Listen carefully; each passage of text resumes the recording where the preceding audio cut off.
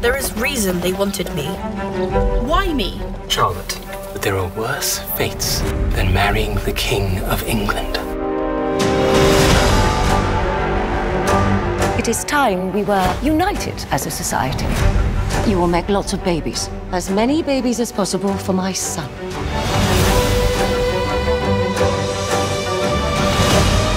My life as queen was difficult. I'm Brimsley. I'm always with you, Your Highness. Brimsley, tell me about the king. Is he ugly, perhaps deformed? He is the king. Yes. And? Hmm. Hello, my lady. Are you in need of assistance of some kind? If you must know, I'm trying to climb over the garden wall. Whatever for? You refuse to help a lady in distress. I refuse when she's trying to go over a wall so that she does not have to marry me. Hello, Charlotte. Your Majesty.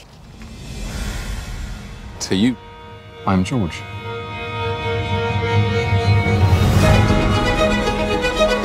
I realize you have no reason to like me. But if you will give me one evening of your time, it might make you hate me a little bit less. That's a reasonable idea. The pieces fall into place.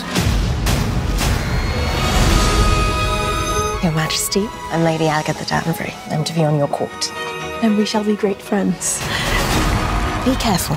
You are the first of your kind. You must secure your position. Where is the king? The king cannot see you now. Charlotte, I require privacy. She is his wife. She should know.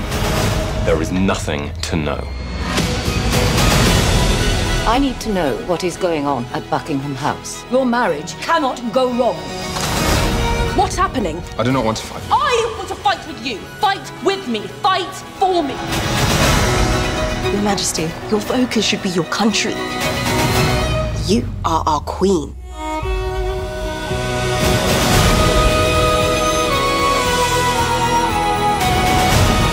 You are breathtaking. You break rules, court scandal.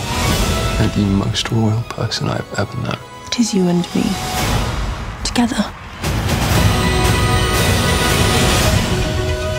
Love can bloom from the thorniest of gardens.